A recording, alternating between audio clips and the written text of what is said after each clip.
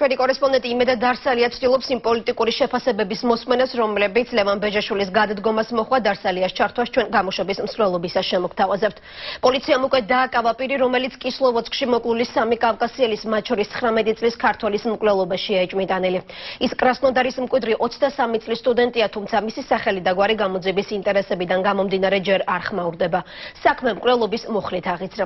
შეგახსენებთ, რომ კისლოვოდსკში მასობრივ დაპირისპირებას სამი კავკასიელის, მათ შორის ერთი ქართველის 19 წლის ახალგაზრდის სიცოცხლე ემსხვერპლა.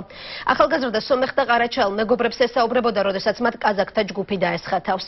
ინციდენტის დროს სომეხი ახალგაზრდა ცეცხლსასროლი იარაღით მოკლეს. 19 წლის ქართველს კი თავდამსხმელებმა ყელი გამოჭრეს.